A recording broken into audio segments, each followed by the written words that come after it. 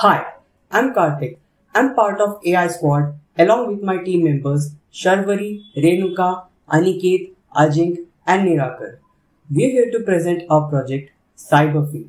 Our goal with this project is to create a tool that provides latest cybersecurity incidents in the Indian cybersecurity space, helping organizations protect their critical infrastructure.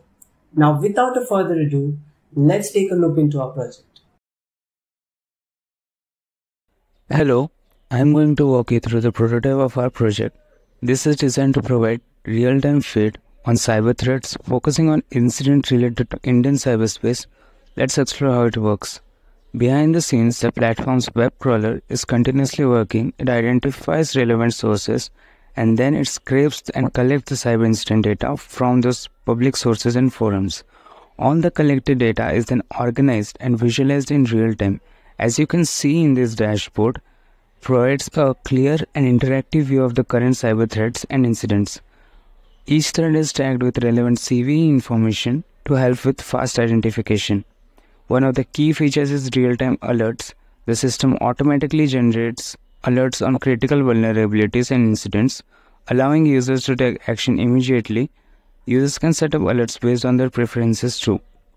Another feature is the AI assistant this custom-built AI provides user with personalized recommendations, answers with the cybersecurity-related questions, and suggests the best course of action based on the latest data. The AI is embedded with the system that doesn't rely on external APIs, ensuring fast and reliable assistance. The platform provides real-time visualization, allowing users to explore cyber threats easily.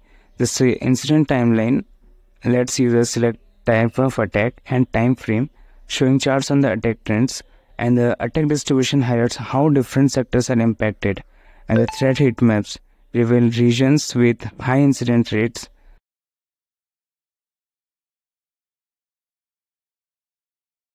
Uh, sectoral impact charts further display industry-specific vulnerabilities, all enhancing user interaction and understanding. In summary, this project is aimed to provide real-time feed on Indian cyberspace to make cybersecurity management seamless and effective.